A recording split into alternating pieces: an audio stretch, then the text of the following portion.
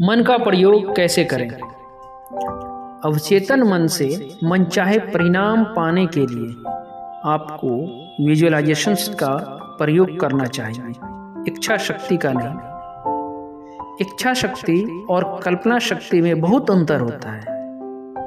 अगर इच्छा शक्ति की बात करें तो किसी धार्मिक स्थल पर बैठा एक शराबी प्रवचन सुनकर सोचता है कि ये लोग कितने अच्छे हैं। कितनी अच्छी अच्छी बातें करता है। इसलिए एक दिन मैं भी शराब छोड़कर इनके जैसा बन जाऊँगा। अगर बात कल्पना शक्ति की करे तो उसी धार्मिक स्थल पर बैठा दूसरा शराबी प्रवचन सुनकर ये सभी लोग कितने अच्छे हैं कितनी अच्छी अच्छी बातें करता है।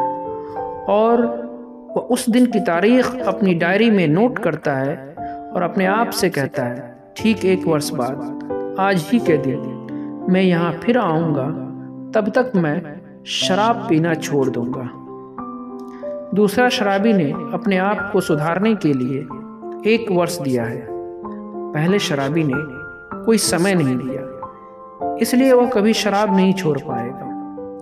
इच्छा शक्ति से अधिक बलशाली होता है आपका अवचेतन मन। आपकी विजुअलाइजेशंस को पूरा करने की पूरी कोशिश करता है।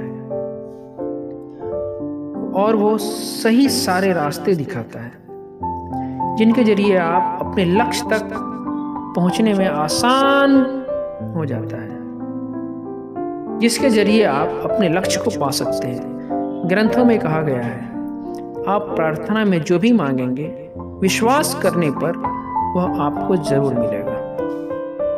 हाय एवरीवन आप सुन रहे हैं सफ़रनामा ज़िंदगी, हमारे साथ, हमारे यूट्यूब चैनल पर। यदि आप हमारे यूट्यूब चैनल पर बने रहना चाहते हैं तो हमारे चैनल को सब्सक्राइब करें। धन्यवाद थैंक यू सो मच